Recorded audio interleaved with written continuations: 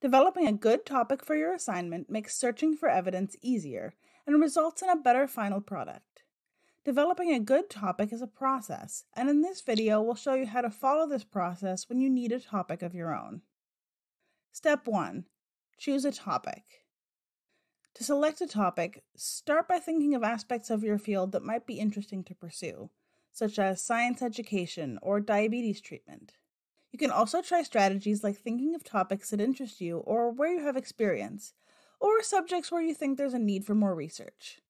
You can also ask a professor for ideas. Search for general topics that interest you on Wikipedia to get a general orientation to a subject you want to investigate further. As an example, my general topic is going to be reduction of in hospital infections. Step 2 Turn your topic into a question. Once you've decided on a topic, take that idea and think about it as a question. What do you want to know about the topic? Here are some examples of the types of questions you can ask. How is blank made or done? What is the value of blank? What are the causes of blank? What is the relationship between blank and the outcome of blank? For example, for my topic, I'll ask what is the relationship between hand sanitizing stations in emergency rooms and in hospital infections? Step 3 Refine your question. Once you have an initial question, you can refine it using two different techniques PICO and concept mapping. PICO is great for quantitative clinical topics, whereas concept mapping is good for qualitative or non clinical topics. How to use PICO. PICO stands for P. Patient, population, or problem. I. Intervention or exposure. C. Comparison. And O. Outcome. To use PICO, answer questions about each of these elements. For example, for patient, population, or problem, what are the characteristics of the patient or the population? What is the situation or disease you're interested in? For intervention or exposure, what do you want to do with the patient, person, or population? For example, treat, diagnose, or observe. For comparison, what is the alternative to the intervention? For example, placebo, a different drug, or surgery. For outcome, what are the relevant outcomes? For example, morbidity, death, or complications. Sometimes it can be useful to add a time frame to PICO. When you include the time frame of the topic, this is called PICO T. When you add the time frame, you have to ask over what period of time. Here's an example.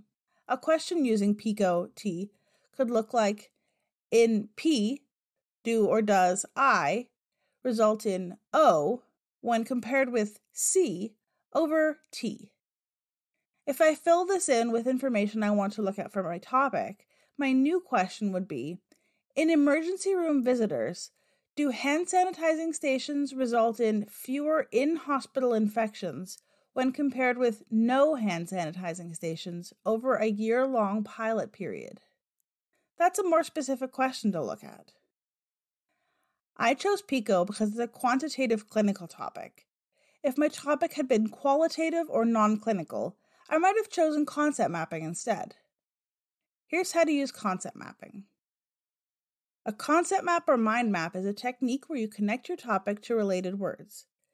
To create a concept map of your topic, step 1 Write down the broad topic, issue, or problem. Step 2 Write down all the relevant words, phrases, and ideas related to that topic that come to mind and draw lines to connect them to the topic.